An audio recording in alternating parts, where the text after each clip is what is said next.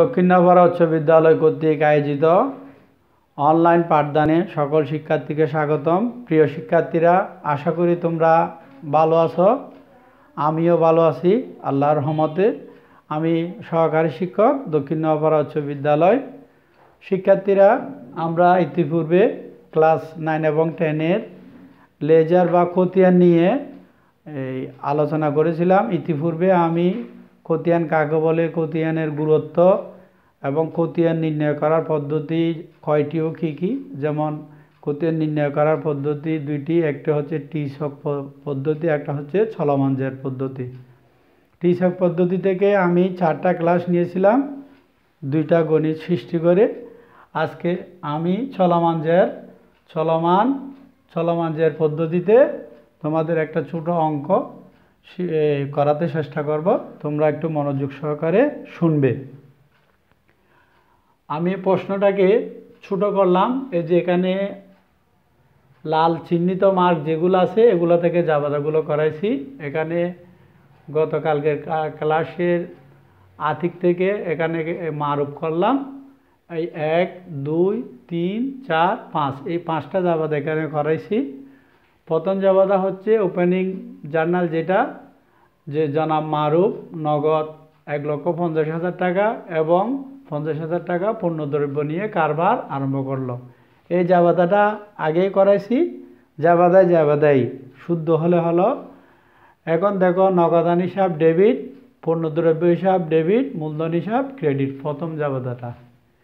দ্বিতীয় দশ তারিখ, নগদে পণ্য বিক্রয় সাত হাজার। তাহলে পণ্য বিক্রয় করলে ব্যবসায়ী নগদ টাকা আসলো নগদান হিসাব ডেবিট ব্যবসা থেকে নগদ পণ্য চলে গেল, বিক্রয়ের কারণে পণ্য বিক্রয় হিসাব ক্রেডিট দশ হাজার। এরপরে বারো তারিখ দোকানের জন্য আসবাবপত্র ক্রয় করা হলো। আসবাবপত্র ক্রয় যখন করছি, আমার দোকানে আসবাবপত্র আসছে, নগদ টাকা চলে গেছে। তাহলে আসবাবপত্র ক্রয় হিসাব ডেবিট নগদান হিসাব ক্রেডিট এখানে কারণটা লিখলে কারণ আসবাবপত্র ক্রয় করা হলো। কারণটা তো তোমরা সবাই জানো, সংক্ষিপ্ত আকারে লিখে দেবে। এরপরে কর্মচারীর বেতন প্রদান এক হাজার টাকা। তাহলে নামিক হিসাব, নামিক বা ব্যয় হিসাব, বেতন হিসাব ডেবিট, নগদান হিসাব, ক্রেডিট। নগদান হিসাব, ক্রেডিট। তোমাদের জাবাদা শেষ করলাম, এই এক, দুই, তিন, চার, পাঁচ, পাঁচটা জাবাদা শেষ করলাম এবং জাবাদার যোগফল এখানে বসাই দিলাম। এরপর খতিয়ান নির্ণয়। এই যে খতিয়ান করতে হলে কয়টা কলাম আঁকতে হবে? খতিয়ান নির্ণয় দেখো ভিন্ন খতিয়ান কাকে বলে? কারবার ব্যক্তি বা কারবারি প্রতিষ্ঠানগুলোকে প্রতিষ্ঠানের লেনদেনগুলোকে এ, তারিখ ক্রমানুসারে ভিন্ন ভিন্ন শিরোনামে যে বইতে স্থায়ীভাবে লিপিবদ্ধ করা হয় তাকে খতিয়ান বা লেজার বলে। তাহলে এখানে আমাদের ভিন্ন ভিন্ন শিরোনাম কয়টা হবে? অর্থাৎ একই লেনদেন একই লেনদেনের জন্য একটা একটা শিরোনাম। তাহলে নগদকে আমি একে নিলাম পণ্যদ্রব্যকে দুই নম্বর শিরোনাম, মূলধনকে তিন নম্বর শিরোনাম। আবার নগদ এক এক এক হয়েছে। তারপর পণ্য বিক্রয় আর নাই উপরে চার, আর আসবাবপত্রের উপরে নাই, এটা পাঁচ সংখ্যায়। নগদ উপরে পড়ছে, একে একে দিলাম। এরপরে ব্যাংক হিসাব উপরে নাই, এটা পাঁচের পরে ছয় হলো। নগদান এক, একে দিলাম। বেতন হিসাব উপরে নাই, তাহলে ছয়ের পরবর্তী পরবর্তী সংখ্যা সাত সাত দিলাম, নগদ আছে উপরে এক এক দিলাম। তাহলে আমাদের সর্বোচ্চ সংখ্যা হচ্ছে সাত। অর্থাৎ তোমাদের এই অঙ্কটা করার জন্য সাতটি কলাম আঁকতে হবে। এখন প্রিয় শিক্ষার্থীরা, আমরা কলামের দিকে যাই। চলমান জের পদ্ধতির কলামটা দেখো, এখানে জনাব মারুফের খতিয়ান, একে পড়েছে নগদান হিসাব। এখানে হিসাবের একটা কুট থাকবে।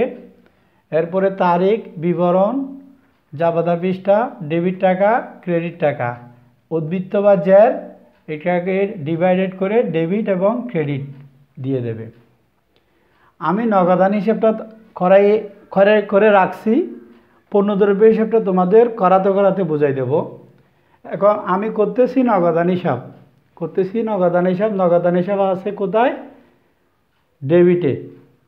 এখন এই নগদানের বিপরীতে ক্রেডিটে কী লেখাটা আছে স্যার? মূলধন হিসাব। আমি বিবরণে বিবরণে মূলধন হিসাবটা লিখলাম। যে হিসাবটা করতেছি, এই টাকাটা কোথায় আছে? জাবাদায় নগদে নগদে লিখলাম। এক লক্ষ পঞ্চাশ হাজার টাকা। দুই লক্ষ টাকা লিখে নেই কিন্তু, তোমরা গাণিতিক ভুল করো বারবার। দুই লক্ষ টাকা হবে না, নগদটা হবে এক লক্ষ পঞ্চাশ হাজার। এরপরে এক কোথায় আছে? এই যে এক আছে, পণ্য বিক্রয় হিসাব। নগদান হিসাব, পণ্য বিক্রয় হিসাব করতেছি কি? নগদান হিসাব। তাহলে নগদান হিসাব টাকাটা ডেবিটে আছে, বিপরীতে বিবরণে কী লেখা আছে? পণ্য বিক্রয় পণ্য বিক্রয়, দশ হাজার।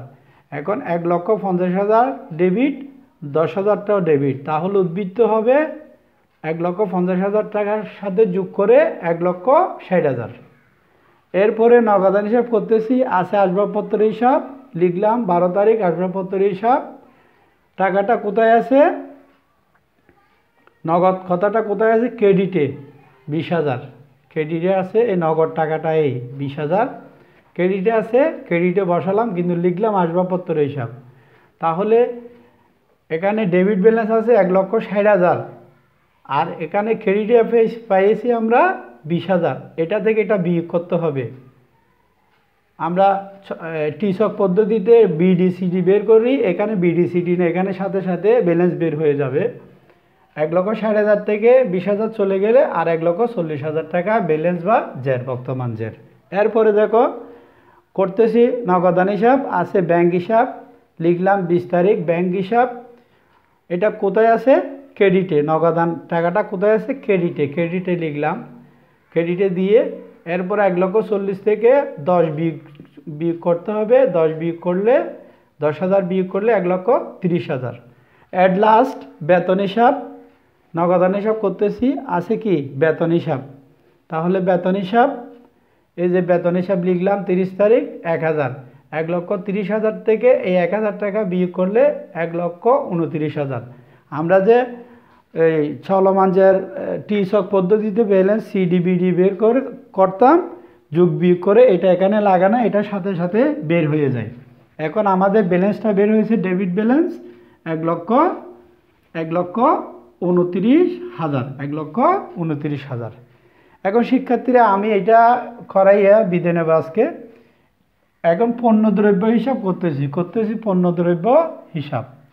এখন লিখব কি? মূলধন হিসাব। যেমন পূর্ববর্তী নগদান হিসাবে আমি নগদান হিসাব যখন করেছি, এখানে লিখছি মূলধন হিসাব। এখন পণ্যদ্রব্য হিসাবেও কি লিখব? মূলধন হিসাব। মূলধন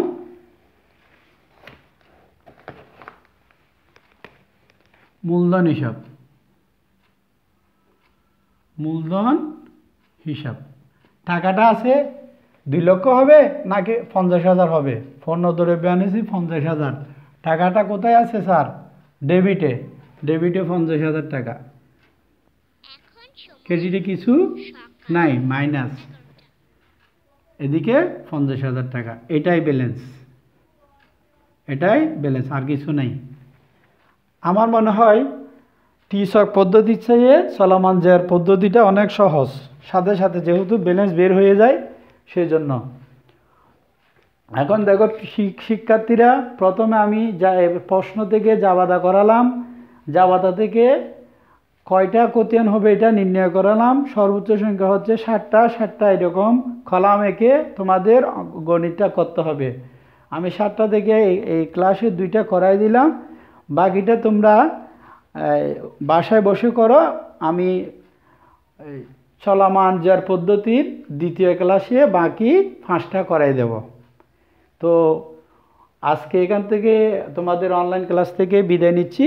তোমরা ঘরে বসে স্টাডি করবে। যত স্টাডি করবে, তত তোমরা তোমাদের জন্য, জীবনের জন্য ভালো হবে। তোমাদের সুস্বাস্থ্য কামনা করে আজকের মতো বিদায় নিলাম। আল্লাহ হাফেজ।